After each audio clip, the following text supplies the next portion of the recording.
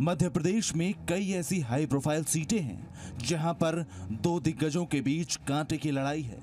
हारेगा तो दिग्गज ही, और चुनाव जीतेगा तो दिग्गज ही चुनाव जीतेगा।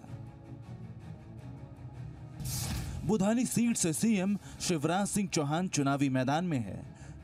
यहाँ से वो 2003 से लगातार चुनाव जीतते आ रहे हैं।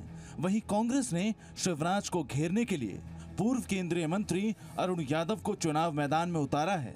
अरुण यादव मध्य प्रदेश के पूर्व उप मुख्यमंत्री सुभाष यादव के बेटे हैं। शिवपुरी सीट से मौजूदा बीजेपी विधायक यशोधरा राजे सिंधिया मैदान में हैं। यशोधरा राजे यहाँ से तीन बार से विधायक हैं। वहीं कांग्रेस से सिद्धार्थ लड़ा चुनौती दे रहे हैं। हाई प्रोफ़ाइल सीटों में चुरहट भी है।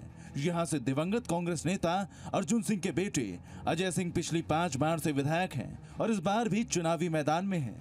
अजय सिंह को बीजेपी के शरदेंदु तिवारी चुनौती दे रहे हैं। 2008 के चुनावों में भी दोनों आपस में टकरा चुके हैं। राघवगढ़ से दिग्विजय सिंह के बेटे जयवर्धन मैदान में हैं। राघवगढ़ सीट से दिग्विजय सिंह 1977 से चुनाव जीतते आ रहे हैं। लेकिन इस बार उन्होंने अपने बेटे जयवर्धन को यहाँ से उतारा है। लाहौर सीट से पूर्व मंत्री डॉक्टर गोविंद सिंह कांग्रेस के टिकट पर मैदान में हैं तो वहीं बीजेपी से रसाल सिंह चुनौती दे रहे हैं। लाहौर कांग्रेस का गढ़ है और यहाँ से गोविंद सिंह पिछले 30 सालों से विधायक हैं। भोजपुर से कांग्रेस के दिग्गज नेता सुरेश पचौरी और मौजूदा बीजेपी विधायक सुरेंद्र पाटवा के बीच टक्कर है। पचौरी छह बार राज्यसभा सांसद रह चुके हैं तो सुरेंद्र पूर्व मुख्यमंत्री सुंदरलाल पटवा के भतीजे हैं।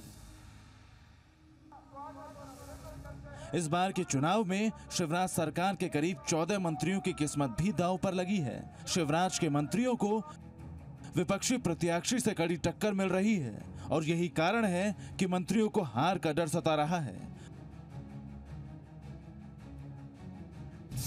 शिवराज सरकार के स्वास्थ्य मंत्री रुस्तम सिंह मुरैना से चुनावी मैदान में हैं, जिन्हें कांग्रेस के टिकट पर रघुराज सिंह कसाना टक्कर दे रहे हैं। तो वहीं ग्वालियर से मंत्री जयभान सिंह पवैया को कांग्रेस के प्रदुमन सिंह से कड़ी चुनौती मिल रही है। बताया जा रहा है कि जनता पवैया के दुर्व्यवहार से खासी नाराज़ है। मंत्री नारायण सिंह कुशवाहा ग्वालियर दक्षिण सीट से मैदान में हैं और उन्हें कांग्रेस के प्रवीण पाठक चुनौती दे रहे हैं। वहीं बीजेपी से टिकट नहीं मिलने से बागी हुई सुष्मिता गुप्ता भी नारायण सिंह के खिलाफ बिगुल फूक चुकी हैं। मंत्री जयंत मलैया दमोह से एक बार फिर चुनावी रण में हैं। मलैया के खिलाफ कांग्रेस ने राहुल लोधी को मैदान में उतारा है। तो वहीं बीजेपी से टिकट नहीं मिलने से नाराज़ पूर्व मंत्री रामकृष्ण कुसमरिया भी चुनावी मैदान में ताल ठोक रहे हैं, जिसके कारण जयंत मलैया की जीत का समीकरण बिगड़ गया है। खुरई विधानसभा से शिवराज के मंत्री भूपेंद्र सिंह भी चुनावी मैदान में हैं तो वहीं कांग्रेस के पूर्व विधायक अरुणोदय चौबे को मैदान में उतारा है। रीवा से राजेंद्र शुक्ल पिछले पंद्रह सालों से विधायक हैं और इस बार भी इसी सीट से ताल ठोक रहे हैं शुक्ल के खिलाफ कांग्रेस ने बीजेपी छोड़। कांग्रेस में शामिल हुए पूर्व विधायक अभय मिश्रा को टिकट दिया है।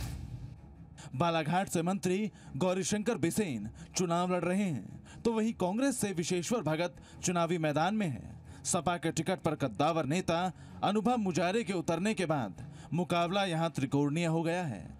होशंगाबाद से विधानसभा अध्यक्ष सीतारमण शर्मा चुनाव लड़ रहे हैं। तो वहीं कांग्रेस ने बीजेपी छोड़कर आए पूर्व मंत्री सरताज सिंह को टिकट दिया है। सरताज सिंह को राजनीति का अजय खिलाड़ी माना जाता है।